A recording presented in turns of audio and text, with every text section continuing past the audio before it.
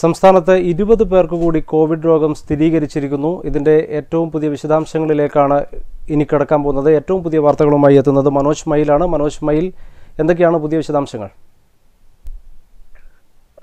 ഇന്ന് സംസ്ഥാനത്ത് ഇരുപത് പേർക്കാണ് കോവിഡ് നയന്റീൻ സ്ഥിരീകരിച്ചിട്ടുള്ളത്.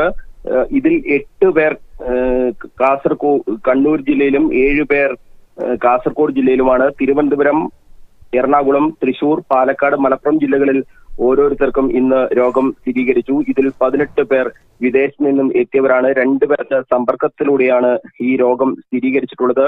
തിരുവനന്തപുരം ജില്ലയിൽ രോഗം സ്ഥിരീകരിച്ചയാൾ Thiruvananthapuram medical college isolation I സിയുവിൽ ചികിത്സയിലാണ്. എറണാകുളം ജില്ലയിലെ ഒരു ആരോഗ്യ പ്രവർത്തകനും ഇന്ന് രോഗം സ്ഥിരീകരിച്ചു. എങ്കിലും സമൂഹ വ്യാപനം ഇല്ല എന്ന തരത്തിലേക്ക് തന്നെയാണ് ഇപ്പോഴും ആരോഗ്യവകുപ്പ് ഉള്ളത്. പത്തനംതിട്ടയിൽ ചികിത്സയിലായിരുന്ന നാല് പേരുടെ പരിശോധനാ ഫലം നെഗറ്റീവ് ആണെന്നത് ആശ്വാസമാണ്. കേരളത്തിൽ ഇരുന്നൂറ്റി രണ്ട് പേർക്കാണ് ഇതുവരെ രോഗബാധ സ്ഥിരീകരിച്ചിട്ടുള്ളത്. നിലവിൽ നൂറ്റി എൺപത്തി ഒന്ന് പേരാണ് സംസ്ഥാനത്തെ വിവിധ ആശുപത്രികളിൽ ചികിത്സയിലുള്ളതെന്നാണ് ആരോഗ്യ മന്ത്രിയുടെ ഓഫീസിൽ നിന്നും ഇപ്പോൾ പുറത്തു വന്നിട്ടുള്ള ഈ വാർത്താക്കുറിപ്പിൽ പറയുന്നത്. ഏതായാലും കണ്ണൂർ ജില്ലയിലെ ഈ എട്ട് പേർക്ക് അത് ഏതൊക്കെ സ്ഥലങ്ങളിൽ നിന്നാണ് എന്ന കാര്യം അല്പസമയത്തിന് ശേഷം മാത്രമേ നമുക്ക് വ്യക്തമാവുകയുള്ളൂ. ഇതിന്റെ ഈ എവിടെ നിന്നാണ് എന്ന കാര്യങ്ങളെ കുറിച്ച് ചർച്ച ചെയ്യുന്നതിന് വേണ്ടി ഡി എംഒ ഉൾപ്പെടെയുള്ളവർ ഇപ്പോൾ യോഗം ചേർന്നുകൊണ്ടിരിക്കുകയാണ്.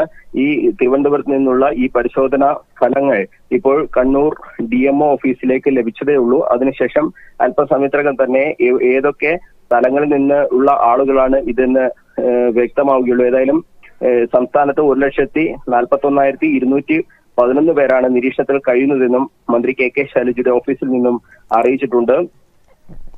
സമൂഹ വ്യാപനം ഇല്ല എന്ന് പറയുന്നതിന് പ്രധാനമായ ഒരു കാരണം ഇന്ന് ഇരുപത് പേർ രോഗം സ്ഥിരീകരിച്ച ഇരുപത് പേരിൽ പതിനെട്ട് പേരും വിദേശത്ത് നിന്ന് എത്തിയതാണ് എന്നുള്ളത് കൊണ്ട് തന്നെയാണ് ഈ സമൂഹ വ്യാപനം എന്ന ഒരു ഭീതിയിലേക്ക് നമ്മൾ കടന്നിട്ടില്ല എന്ന് ആരോഗ്യവകുപ്പ് ഉറപ്പിച്ചു പറയുന്നത് വിനോദ്.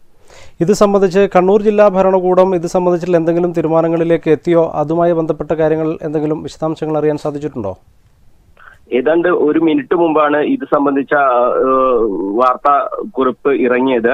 അതിനുശേഷം ഈ ജില്ലകളിലേക്ക് അതത് ജില്ലകളിലേക്കുള്ള റിസൾട്ടുകൾ അതിനുശേഷമാണ് ഈ ഡി എംഒമാർക്ക് കൈമാറുക. അവർ ആ പരിശോധന ഫലങ്ങളും അവരുടെ സ്ഥലങ്ങളുമൊക്കെ നിർണയിച്ചുകൊണ്ട് ഏതൊക്കെ സ്ഥലങ്ങളിലാണ് എന്ന് പിന്നീടാണ് അത് നിശ്ചയിക്കുക. അതിനുള്ള ക്രമീകരണങ്ങൾ ഇപ്പോൾ ഡി എംഒ ഓഫീസിൽ നടന്നു വരികയാണ്. മെഡിക്കൽ ബോർഡിന്റെ യോഗം ഇപ്പോൾ അവിടെ ആരംഭിച്ചിട്ടുണ്ട്. അതിനുശേഷം അല്പസമയത്തിനകം തന്നെ ഇത് സംബന്ധിച്ച വിശദാംശങ്ങൾ നമുക്ക് ലഭിക്കുമെന്നാണ് കരുതുന്നത്.